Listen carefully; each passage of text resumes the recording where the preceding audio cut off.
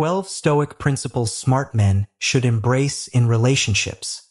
Ancient wisdom for modern love, where we explore the timeless wisdom of Stoicism and its practical applications in our daily lives. We're diving into the realm of relationships and unveiling the 12 principles that smart men should embrace according to Stoic philosophy. If you're excited to harness the power of ancient wisdom in your love life, whether you're single, dating, or in a long-term partnership, these 12 Stoic principles will help you cultivate stronger, more authentic connections.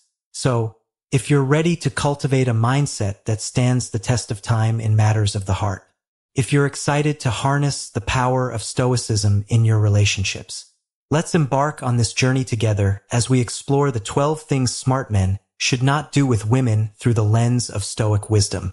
Number one, guard your past. Sharing every detail of your past, especially the challenging parts, is akin to revealing every secret and hardship you've faced. Nietzsche's insight that old ideas may come back to challenge us highlights the potential risks of revealing too much. Keep your past personal and protected. Share only what is necessary. Guard the main parts of your story that make you resilient. Your life story is yours alone and not for others to exploit or judge. Imagine your life as a book. While it's tempting to share every chapter, Stoicism teaches us the value of privacy. As Friedrich Nietzsche said, old ideas can sometimes use new buildings. Protect your past, sharing only what truly matters. Your story is precious, treat it that way. Number two, face the fear of being alone. Aristotle's insight that knowing yourself is the beginning of all wisdom underscores the importance of facing the fear of being alone. Choices made out of fear, especially the fear of solitude, can lead you astray. Being alone does not equate to loneliness. Spend time appreciating your own company. When you do choose to be with someone, let it be because they add value to your life, not because you fear being without them. Fear of being alone often leads to poor choices in relationships. But as Aristotle wisely noted, knowing yourself is the beginning of all wisdom. Learn to enjoy your own company. When you do choose a partner, it should be because they enhance your life, not because you fear solitude. Number three, Seneca once said, It's not that we have a short time to live, but that we waste a lot of it. Don't throw your precious hours into a relationship void. Instead, invest your time in activities that bring joy, foster growth, and nourish your soul. A fulfilling life attracts fulfilling relationships. Manage your time wisely. Seneca's observation that it's not that our lives are short, but that we waste too much of it rings true. Don't throw your time into a void by overly focusing on someone else. Take back your time, for it belongs to you, not them.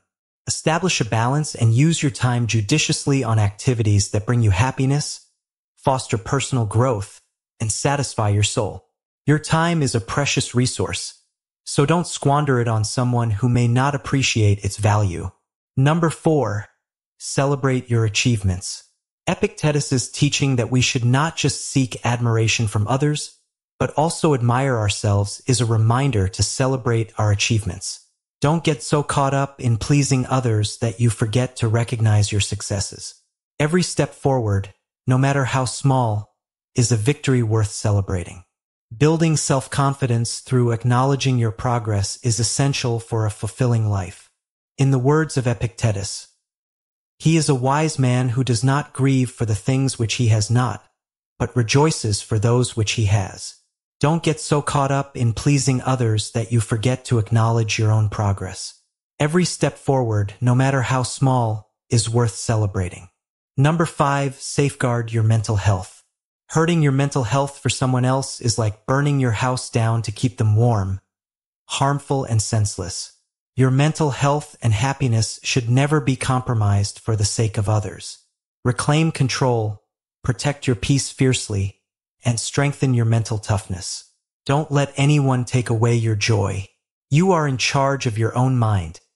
Your happiness is not a commodity to be traded away. It's a non-negotiable aspect of your well-being. Compromising your mental well-being for someone else is like setting yourself on fire to keep them warm. is harmful and unsustainable. Protect your peace fiercely. Remember, a healthy mind is the foundation of a healthy relationship. Number six, be true to yourself. Albert Camus' wisdom about not worrying too much about others resonates with the Stoic philosophy of being true to oneself. Saying yes to things you dislike is like putting on a suffocating mask to please others. Learn to say no and live your life authentically. Don't act to please others. Instead, be real and honest with yourself. Remember, you are the main character in your life, not a side character in someone else's narrative. Albert Camus' wisdom resonates with Stoic philosophy. The only way to deal with an unfree world is to become so absolutely free that your very existence is an act of rebellion. Don't wear a mask to please others. Be authentically you. It's the most attractive quality you possess. Number seven, Seneca wisely said, If a man knows not to which port he sails, no wind is favorable. Changing your life solely to match someone else's is like wearing ill-fitting shoes, painful and unnecessary. Stay true to your goals and aspirations. The right person will walk beside you, not redirect your journey. Don't sacrifice your path for others. Seneca wisely remarked that trying to be in too many places means you're really nowhere. Similarly, changing your life solely to match someone else's is akin to wearing shoes that are too tight. It's painful and unnecessary. Each step taken to conform to others' expectations leads you away from your own path, causing you to lose sight of your goals. Embrace your uniqueness and be proud of your own colors. Don't compromise your journey for someone else's. Walk your path confidently, for your life is meant to be an authentic reflection of your aspirations. Number eight, Plato compared people to soil. Some help you grow, others stunt your progress. Don't push away friends and family for a romantic interest. These connections form the bedrock of your support system. Cherish those who've been there through thick and thin. Prioritize relationships with friends and family. Plato's analogy of people being like soil that can either help you grow or impede your growth emphasizes the importance of maintaining connections with friends and family. Pushing them away for someone else's approval is a misguided choice. Reconnect with those who have always supported you, for your friends and family form the solid base of your support system. Don't risk breaking down this support network. Value those who have been instrumental in your growth. Number nine, Marcus Aurelius warned against losing ourselves in others. Like a satellite endlessly circling a planet, fixating too much on someone else can cause your own dreams to fade. Remember, you're the star of your own story. Shine brightly. Avoid obsessive devotion. Marcus Aurelius warned against being overly obsessed with someone as it disrupts your balance and blinds you to your own worth. Like a satellite circling endlessly, fixating too much on someone else causes your dreams and uniqueness to fade away. Reclaim control. Stop being a shadow living by their rules and start shining like your own sun. Remember, your life is not a side role in someone else's story. You are the star of your own narrative. Don't let anyone dim your shine. Number 10. Don't let emotions control you. Epictetus taught that we should keep our emotions in check and not let them dictate our actions. In relationships, it's easy to let emotions take the driver's seat.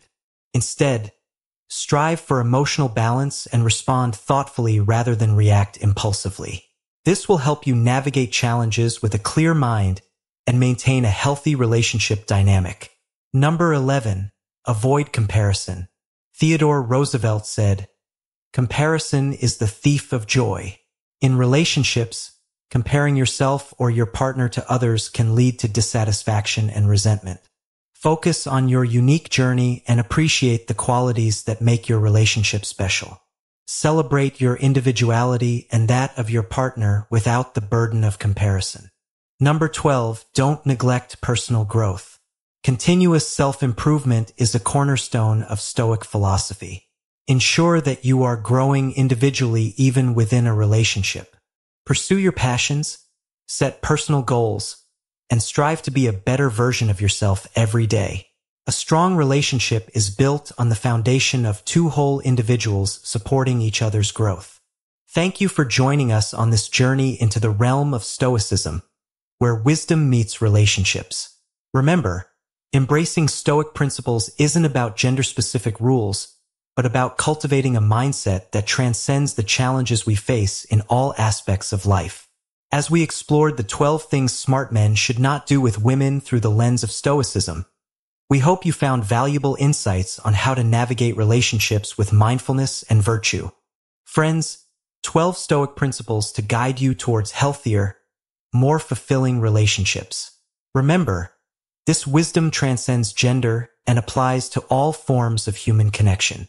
If you enjoyed this exploration of Stoicism and relationships, don't forget to like, share, and subscribe for more content that enriches the mind and nourishes the soul. Feel free to leave your thoughts and questions in the comments below.